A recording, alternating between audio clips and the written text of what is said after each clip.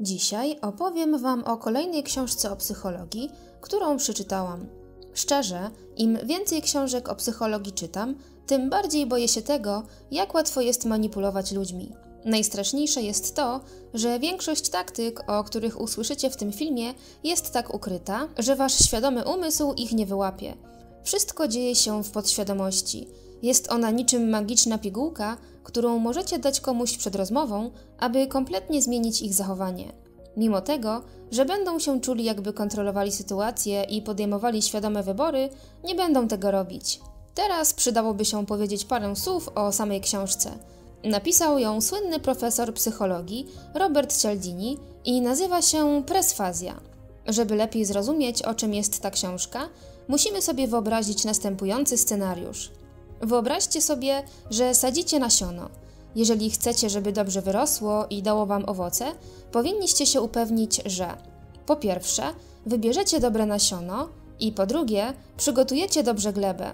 Wasza roślina nie wyrośnie na źle przygotowanej glebie. Używając tej analogii, możemy założyć, że coś, do czego chcecie przekonać innych, jest właśnie tym nasionem, a cała ta książka mówi o przygotowywaniu gleby. Robert mówi: Wszystkie badania, które wykonano do momentu wydania mojej książki, skupiały się na tym, co mówić, żeby kogoś przekonać do swojej racji, ale pewnego dnia zdałem sobie sprawę, że perswazja zaczyna się nawet, zanim wypowiecie jakiekolwiek słowo.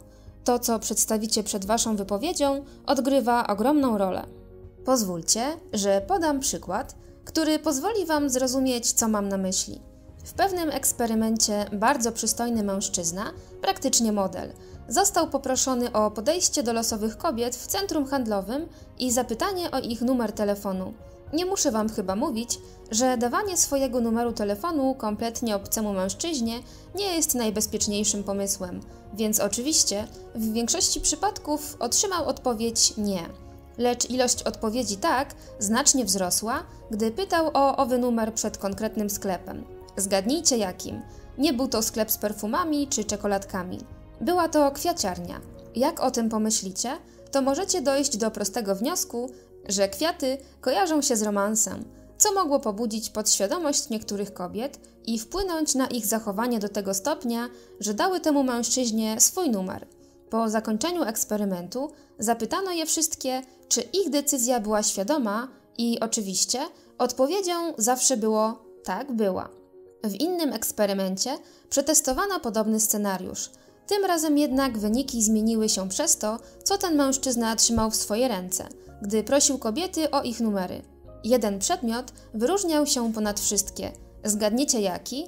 Był to futerał na gitarę. Spójrzmy na inny przykład, tym razem ze świata biznesu. Opiera się on na internetowym sklepie z meblami.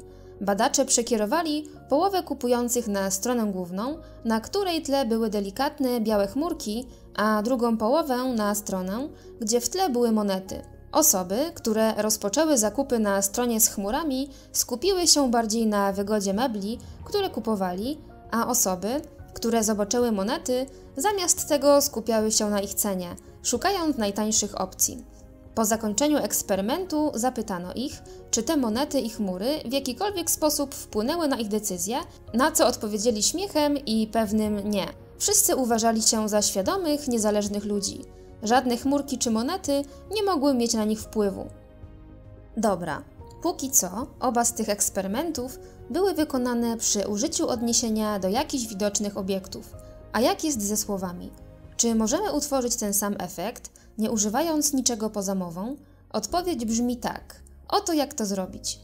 Pewien sprzedawca miał problemy ze sprzedaniem swojego produktu za 75 tysięcy złotych.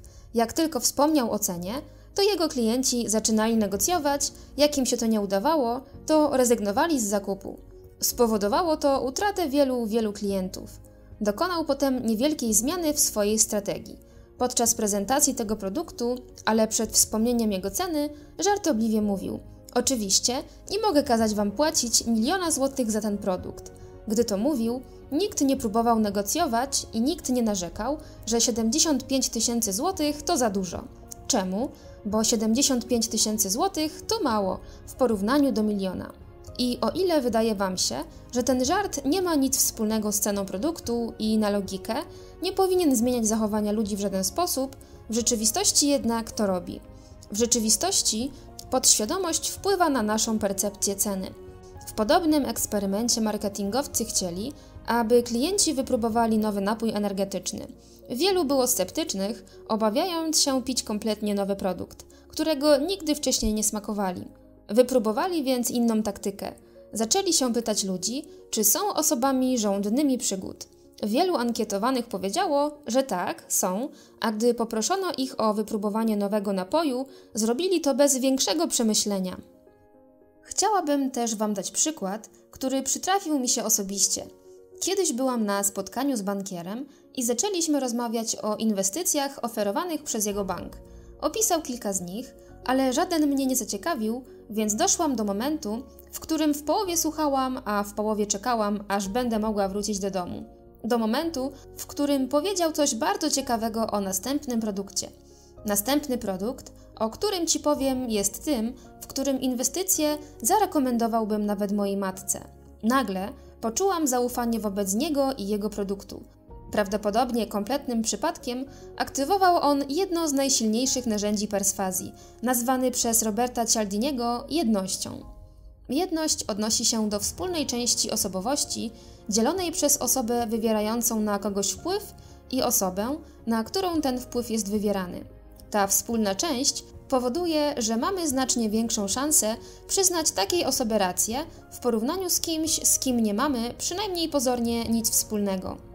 Jeżeli jakaś osoba jest w stanie zakomunikować, że należy do tej samej grupy co jej rozmówca, przed przekazaniem swojej wiadomości, szansa, że będziemy z nią kooperować, jest znacznie większa. Pozwólcie, że podam Wam przykład. Inwestorzy w firmie Warrena Buffetta, Berkshire Hathaway, zawsze pytali go o to, co się stanie, gdy nie będzie on już przewodzić firmą. W liście do swoich akcjonariuszy Buffett napisał: Powiem wam to samo, co powiedziałbym mojej rodzinie, gdyby zapytała mnie o przyszłość Berkshire. Poprzez wykorzystanie takiego języka, Buffett staje się bardzo przekonujący, bo mówi, że doradza czytelnikom swojego listu to samo, co swojej rodzinie. Najwyższym stopniem jedności jest rodzina. Ludzie są w stanie zadawać sobie bardzo wiele trudu za swoje rodziny, nawet ryzykować za nie swoje życie. Robert pokazuje nam, że możemy wykorzystać jedność pochodzącą z rodziny, nawet jeżeli chcecie wywrzeć wpływ na osobach spoza niej. Podczas jednego ze swoich wykładów Robert poprosił swoich studentów o wypełnienie pewnej ankiety i żeby przekazali ją swoim rodzicom, by zrobili to samo. Niemal wszyscy studenci to zawsze robili, jednak z rodzicami pojawił się już problem. Jedynie 20% z nich wypełniało tę ankietę, czasem nawet mniej. Jedna delikatna zmiana podniosła tę liczbę do 97%. Jaka to była zmiana? Robert powiedział swoim uczniom, że da im jeden dodatkowy punkt na zaliczeniu, jeżeli ich rodzice wypełnią tę ankietę. Szansa na to, że ten produkt miałby jakikolwiek wpływ na ich ostateczną ocenę, była znikoma, a mimo to procent odpowiedzi zwiększył się pięciokrotnie. Wszystko to dzięki wywołaniu w rodzicach poczucia pomaganiu członkowi swojej rodziny. To, co te badania i anegdoty sugerują, jest niesamowite. Jeżeli przeniesiecie swoją uwagę na uczciwość, romans czy przydatność przed przekazaniem wiadomości, to stajecie się na dany moment uczciwą, romantyczną bądź przydatną osobą. Innymi słowami, poprzez wykorzystanie taktyki presfazji mogę wpłynąć na to, jak postrzeganie samych siebie w danym momencie, a poprzez to, jak postrzegacie mnie i to, co mówię. Następny eksperyment sprawił na mnie dość duże wrażenie i pokazuje, dlaczego jest tak łatwo wywrzeć wpływ na nas. W Belgii badacze zebrali grupę ludzi i pokazali im zdjęcia tego samego przedmiotu, ale z innymi tłami. Podzielili uczestników badania na trzy grupy. W tle zdjęcia pokazanego pierwszej grupie pokazana była jedna osoba. W tle zdjęcia drugiej grupy stały dwie osoby, oddalone od siebie. W tle zdjęcia trzeciej grupy również stały dwie osoby, tylko że były one blisko siebie. Podczas dalszej części eksperymentu badacze wstali i przypadkowo upuścili kilka rzeczy na ziemię, aby zaobserwować, jak zareagują na to przedstawiciele tych grup. W pierwszej i drugiej grupie pomagało jedynie 20% osób. Jednak w trzeciej grupie liczba była ta trzykrotnie większa. Nie jest to jednak najciekawsza część eksperymentu. Ten tytuł należy do faktu, że nie uczestniczyli w nim dorośli albo nawet nastolatkowie, tylko 18-miesięczne dzieci bez umiejętności logicznego myślenia i ledwo będące w stanie wypowiedzieć kilka słów. Wyjaśnia to, jak prymitywny i fundamentalny jest ten proces i dlaczego każdy z nas może znaleźć się pod jego wpływem, niezależnie od naszego poziomu inteligencji. Na przykład, badania pokazują najzwyklejsze w świecie wyświetlenie zdjęcia myśliciela w rogu ekranu, gdy wykonują jakieś zadanie, powoduje, że badani stają się bardziej analityczni i popełniają mniej błędów.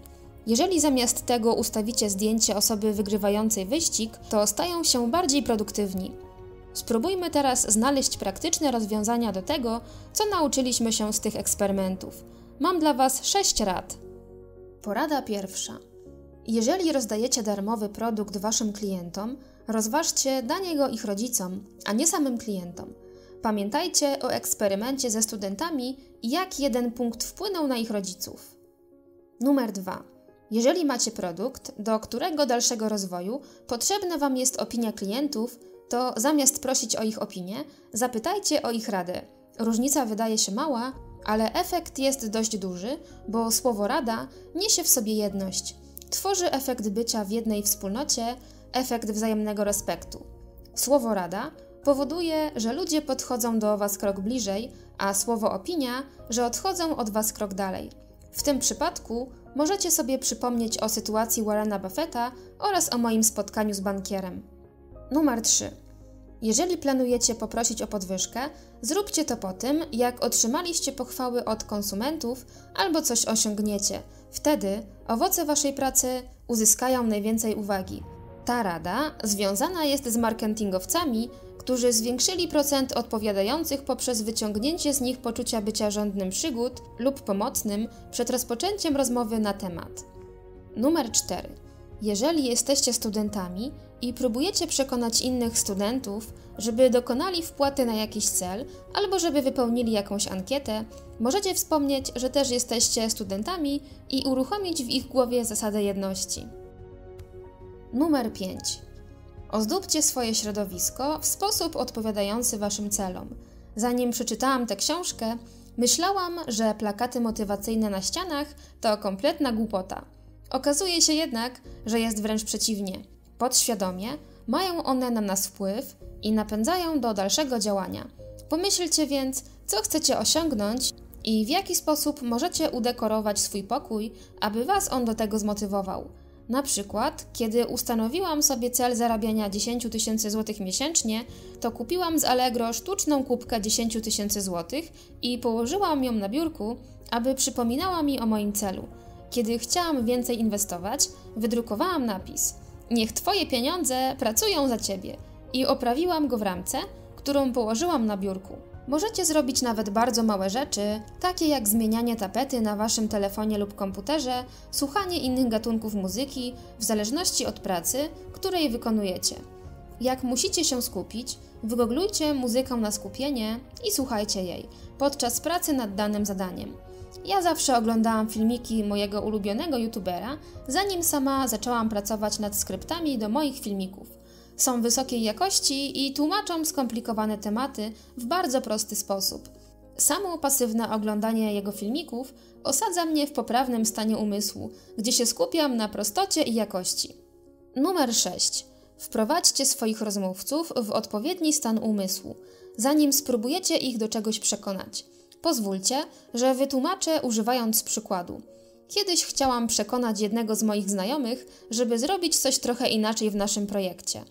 Oboje wiedzieliśmy, że ta zmiana znacznie zwiększyłaby jakość naszego projektu, ale on nie chciał przyjmować na siebie większego nakładu pracy, zwłaszcza, że akurat wtedy byliśmy trochę pokłóceni z innych powodów, więc nie było szans, że zgodziłby się na cokolwiek, co zaproponowałam.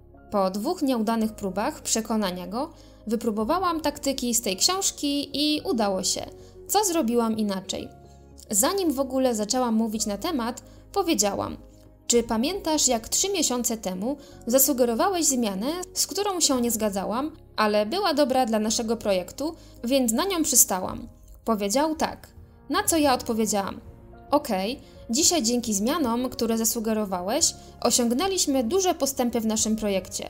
Wtedy przystałam na coś, z czym się nie zgadzałam, bo było to dobre dla naszego projektu. Nie chodziło o mnie czy o ciebie, chodziło o projekt. Teraz to ja proszę ciebie o zmianę zdania i oboje wiemy, że jest to najlepszy wybór dla tego projektu. Więc chociaż na moment odłóżmy na bok nasze ego i wprowadźmy te zmiany w życie.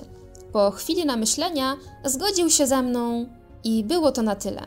Zadziałało to, ponieważ zmieniłam jego podejście z kłótni na robienie tego, co jest najlepsze dla naszego projektu. Pomyślcie o swoim życiu. Pewnie macie podobne sytuacje. Jakie są rzeczy, które możecie powiedzieć przed sednem swojej wypowiedzi, aby wprowadzić waszego rozmówcę w dobry stan umysłu, który spowoduje, że będą bardziej skłonni się z wami zgodzić? Innymi słowy, jak możecie przygotować glebę, zanim posadzicie nasiono? Chcecie, żeby ktoś był uczciwy, romantyczny, szczery albo z wami kooperował? Zdefiniujcie, czego od nich potrzebujecie i znajdźcie odpowiednie słowa, które wprowadzą ich w odpowiedni stan umysłu, a dopiero potem powiedzcie, co od nich chcecie. I oczywiście używajcie zarówno tej taktyki, jak i wszystkich pozostałych, etycznie. Co by się stało, gdybyście zdecydowali się użyć jej nieetycznie na swoich klientach? Cóż, najprawdopodobniej wasi pracownicy zauważyliby waszą taktykę i zaczęli używać jej przeciwko ich klientowi, wam. Jest bardzo wysoka szansa, że nadużycia tej strategii się na was źle odbiją. Jeszcze jedno. Pamiętajcie, że nie jesteście odporni na takie taktyki i można na was z łatwością wpłynąć. Na przykład, wasz przyjaciel bądź znajomy może wspomnieć o czymś małym, co dla was zrobił. Zanim poprosi o dużą przysługę, co wprowadzi Was w stan umysłu, w którym będziecie chcieli mu się odpłacić. Chęć pomagania innym jest zakodowana w naszym DNA i niełatwo jest z nią walczyć. Jeżeli zostaniecie poproszeni o coś równego w skali co to, co wy zrobiliście dla niego, to nie ma problemu. Ale czasami ludzie wykorzystują jakąś małą rzecz, jaką dla was zrobili w przeszłości, żeby przekonać was do zgodzenia się na przysługę o znacznie większej skali. W takich sytuacjach wstrzymajcie się od odpowiedzi. Powiedzcie, że pomyśleliście nad tym i dajcie im potem znać. Jeżeli zgodzicie się na taką prośbę na miejscu, jest duża szansa, że będziecie potem tego żałować. Zdarzyło mi się to osobiście wiele razy. Moim celem w tym filmiku było zwiększenie świadomości o słabościach, które każdy z nas posiada, żebyśmy mogli lepiej się przed nimi bronić oraz żeby pokazać, jak możecie etycznie wykorzystać te słabości w waszej firmie, pracy czy życiu codziennym. Mam nadzieję, że udało mi się to zrobić. Jeżeli chcecie obejrzeć podsumowanie innej książki o trikach psychologicznych, kliknijcie na filmik, który wyświetla się aktualnie na Waszym ekranie. Jest on o książce pod tytułem Potęga i irracjonalności autorstwa Dana Ariely'ego.